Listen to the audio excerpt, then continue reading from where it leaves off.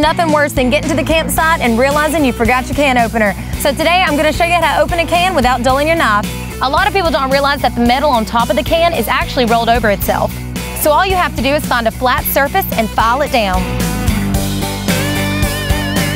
Once you start seeing moisture on the surface, you can then take a knife and just pry it open.